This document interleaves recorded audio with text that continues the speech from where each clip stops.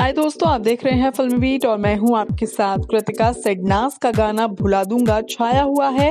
इस गाने ने आते ही धूम मचा दी है। इतना ही नहीं, अब तो ये गाना ट्रेंडिंग के नंबर वन पोजीशन पर भी पहुँच गया है। लेकिन क्या आपको पता है जहाँ एक तरफ़ हर कोई इस गाने की तारीफ़ करने में जुटा है, वही अब माहिरा शर्मा ने एक ऐसा रिएक्शन दे दिया है जो कि सबको हैरान कर गया है। दरअसल जब एक रिपोर्टर ने सेडनास के गाने के बारे में माहिरा शर्मा से सवाल किया तो माहिरा शर्मा ने अजीबो गरीब जवाब दिया। जी हाँ माहिरा शर्मा ने इनडायरेक्टली ही सही सेडनाज और उनके गाने भुला दूँगा की बेजती कर दी।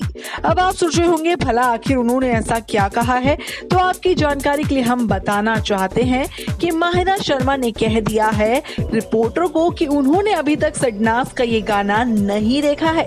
हो गए ना आप भी हैरान। लेकिन ये खबर है सोलह आने सच, क्योंकि माहिरा शर्मा से जब रिपोर्टर ने किया सवाल की आपको भुला दूँगा गाना कैसा लगा, जो कि ट्रेंडिंग पर नंबर वन की पोजीशन पर है, सिरे से उन्होंने कह दिया कि अभी तक वो गाना नहीं देख पाई हैं। बहरहाल, इससे साफ़ हो गया है कि लगता है माहिरा शर्मा सिद्धार्थ और शहनाज से कहीं ना कहीं इनसिक्योर है और हो सकता है यही वजह हो उनके गाने को ना देखने की। कैसा लगा है आपको हमारा ये वीडियो? कमेंट में ज़रूर बताएँ। इस वीडियो में इतना ही, लेकिन आप हमारे चैनल को सब्सक्राइब करना ना भूलिएगा।